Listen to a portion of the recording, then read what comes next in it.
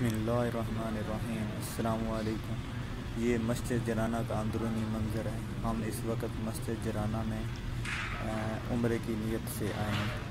मस्जिद जराना मक्का मुकरमा से तैफ की जानब तकरीबन 26 किलोमीटर पर वाक़ है।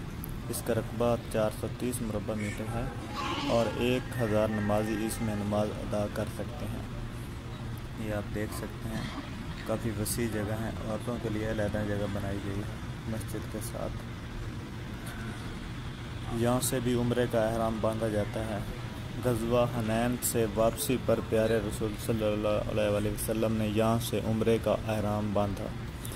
हो सके तो हर दैर को चाहिए कि इस सुन्नत को पूरा करे, यहाँ से अहराम बांधे और उम्र इस जगह का बहुत है।